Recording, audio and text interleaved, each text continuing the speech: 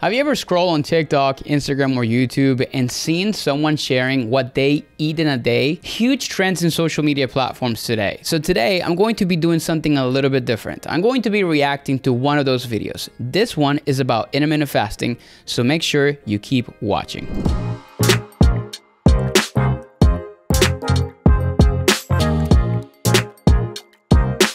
Hey guys, it's Andres here, registered dietitian and nutrition coach. A few days ago, I just ran into a video by a model and influencer on her diet that went completely viral. So I wanted to talk about it and share my thoughts on whether or not this is something that I would recommend. This video explained her pretty extreme intermittent fasting protocol, which is a huge trend and something that I get a lot of questions about. So let's take a look at what she's actually eating in a day and then we will break it down. I do intermittent fasting, so let me show you how I eat all of my food within three to four hours every day. I start eating every day around 9:30 a.m. I always start with a coffee with a lot of heavy cream. Then I take a lot of supplements. After I did a blood test, we found out that I had a bunch of nutrient deficiencies. So basically, I just take every vitamin that I'm deficient in. Okay, so a couple thoughts here. First, a 3 to 4 hour eating window every day is a very short time frame. For most people, this is pretty extreme and getting enough calories and nutrients in this very short window may be very difficult for most. The second thing I want to mention is all the supplements that she's taking. Now, I'm not gonna go in depth here because this influencer has a very specific health situation. She's very open on her TikTok account about her history of disordered eating. So, what she says in another video is that this new diet that she's doing is something she started recently. The supplements that she's taking are to help her recover from nutrient deficiencies caused by years of undereating. So, I won't comment on this except to say that for most people, you want to be aiming to get most of your micronutrients from food sources, not take 32 pills on a daily basis. Okay, now let's see what she has to eat. Then for breakfast, I make this like cheesy burger thing with kimchi. Also, just taking a moment here to appreciate how good my skin has gotten from this diet. I literally can't even believe it. Um, I always have two cups of coffee, by the way. A lot of heavy cream goes into that. I top the burger with a fried egg, and this is my breakfast that I eat around 10:30 a.m. The burger is freaking delicious. I just made a whole YouTube video on the recipe. I take 32 pills in the morning, so I just try to swallow as many as I possibly can at once. After I'm done eating in the morning. Okay, so I'm noticing that she's following a very low carb diet with moderate protein and lots of fat. So it looks like she's doing some version of keto paired with intermittent fasting, which is a very common mix. Let's see how this ends. Around 11:30, I make a yogurt bowl with some kefir for some extra probiotics. Also, it's important to say that I am doing this under supervision of numerous professionals, so don't take this as medical advice. Please always work with a professional because everyone's needs are so unique and different. Don't wash me. Swear to God. Um, anyways, at 12:30, I usually make a cup of broth, add a ton of beef fat into it. This is what heals my gut. It's a little bit hard to get down. I'm not gonna lie, but it's worth it. After that, I have my absolute favorite snack in the world, which is berries and Amish cheddar cheese. Oh, that's everything I ate today.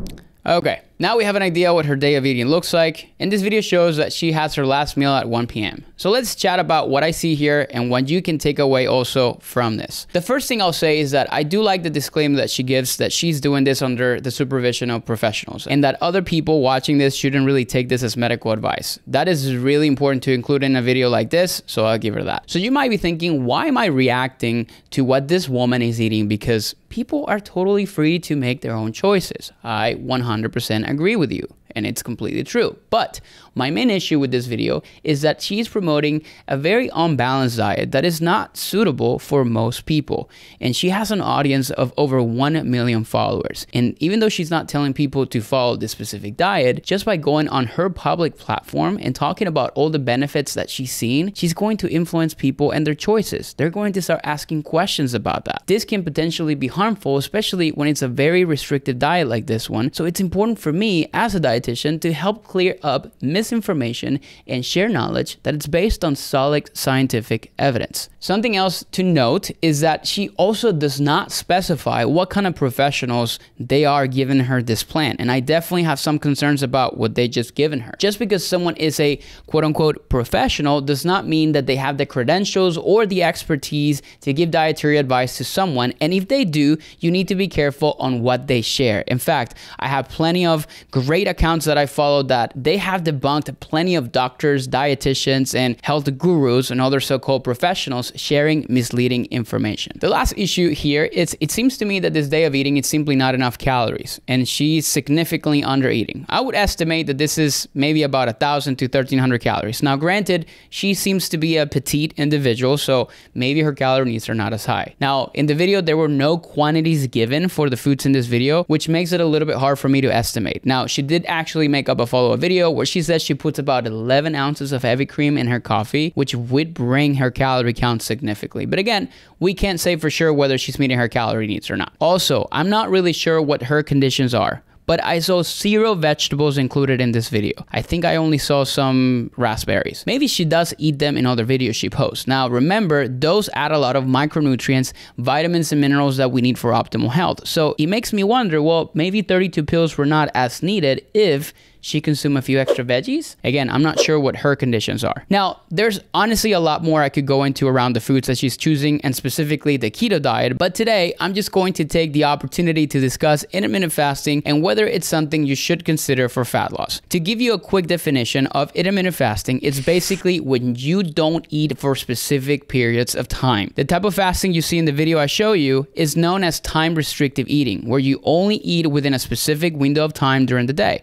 Now, influencer only eats for three to four hours, which is very restrictive and not something that may be sustainable for many people watching it. A more common approach that maybe you've heard about is the 16 8 schedule, where you fast for 16 hours and then you have eight hours of eating. Imagine you go to bed at 9 p.m. and you wake up and you don't eat anything until 1 o'clock in the afternoon. That's an example of a 16 8 approach. There are various schedules that someone might follow, but I'm not gonna get into those or honestly the specifics of how to practice intermittent fasting in this video. If you do want me to create a part two of this and create a separate video on all of this, drop a comment and let me know. Total side note, I practiced intermittent fasting for an entire year while completing my master's thesis on this very same topic that I'm talking about. So I know a thing or two about it. Not only that, but inside of our programs, we teach our clients how to incorporate it into their lifestyles when it makes sense with their goals and their needs. Now, what I want to do today is address one of the most common questions I get about intermittent fasting, which is, is it more effective for weight loss than any other diet. When we look at the data, in a recent research review by a prominent fasting researcher, it was concluded that incorporating a form of intermittent fasting, regardless of the type, can help people achieve 3 to 8% weight loss over 8 to 12 weeks or so. Now, for context, if you weigh, for example, 200 pounds, that's going to be about 6 to 16 pounds of weight loss. Now, before you get all too excited, they also noted that the degree of weight loss in intermittent fasting is similar to that achieved with traditional calorie restriction strategies, aka just eating less calories without timing windows. Basically, for you, this means two things. One, you can lose weight on intermittent fasting because you consume less calories due to less time to eat food during the day. And two, that weight loss that can happen is no different if you were just restricting your calories without any type of restrictions or fasting. So, why do people rave about intermittent fasting and how it's helped them lose a gazillion pounds. Simple. Intermittent fasting is a calorie management strategy. By restricting eating to a certain window of time, it can make it easier for some people to stay in a calorie deficit and avoid overeating. Imagine the person that told you she's lost 50 pounds doing intermittent fasting. Maybe she was stopping at Starbucks every morning before that to get a pumpkin spice latte. We're in the season. That's 390 calories. And she paired that up with a sausage, egg, and cheese wrap, and it's 640 calories. And when she started fasting by skipping that same breakfast, she started losing all the weight.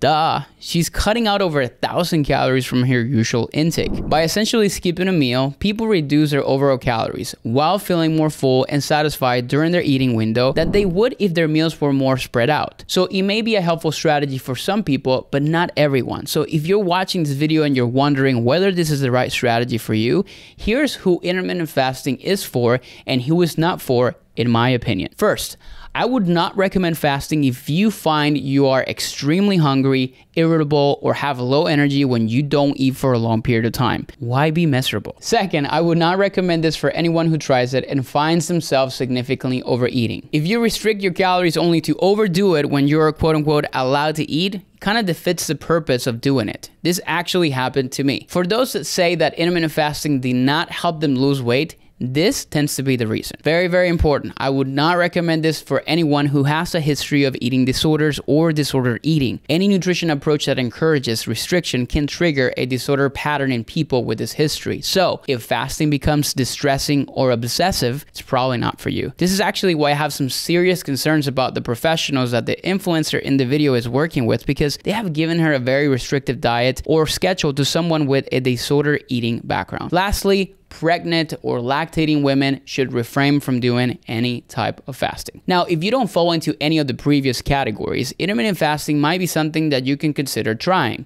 maybe as an experiment like I did it. The people who find it effective are those who find it fits easily into their lifestyle rather than it being something that they're forcing themselves to do using extreme willpower for a specific outcome. In our coaching programs, we call this an advanced strategy for calorie management and can be implemented safely when it's done properly. Now, to close out the video for today, I want to share a couple of takeaways. The biggest one is simply to be wary of any day of eating type of videos that somebody shares on social media. Just because someone's body looks a certain way doesn't mean that the way that they're eating is healthy or that you'll see similar results if you follow exactly what they're doing. The other important point that I want to make here is that intermittent fasting is a tool, it's not a magical solution. Some people do find it beneficial, and there are actually a lot of other research benefits beyond just weight loss. So, again, if you're interested in learning more, leave a comment below and I'd love to make another video on how to actually practice intermittent fasting. But if being restrictive with when you eat your meals isn't something you enjoy and doesn't really come easily, it is absolutely not necessary to reach your weight loss goals. Now, one last note. Again, I mentioned something about other research benefits. Many people have asked me about intermittent fasting for those health benefits.